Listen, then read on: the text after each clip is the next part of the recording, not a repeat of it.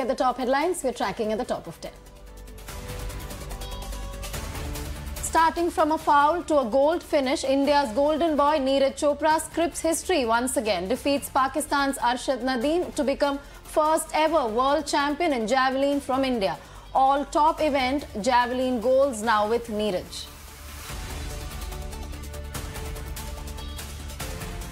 First, uh, first I can, I have to break uh, 90 meter mark, and then I'll think about 94, 95.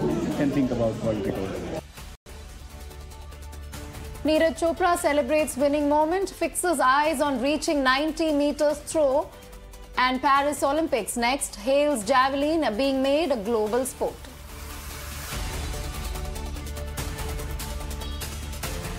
Accolades pour in for ace javelin thrower from Prime Minister to President, all waxing lyrical and singing praises for Neeraj Chopra. Prime Minister says Neeraj is a symbol of unparalleled excellence in the entire sports world. President calls him an inspiration for the youth.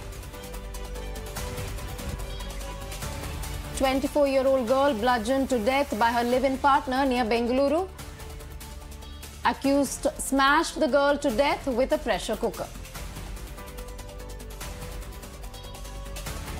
One month since the Haryana violence, Nuh on the edge once again as VHP calls for a yatra despite no permission by the government. Security tightened, vehicles scanned in the area.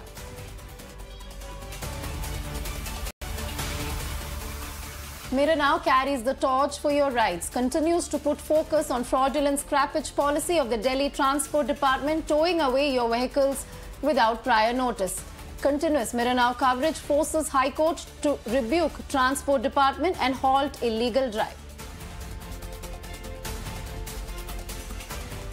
Editors Guild anxious over Karnataka government's bid to set up fact-check unit raises concerns over potential implications on press freedom and journalistic independence, says can't be a tool to clamp dissent.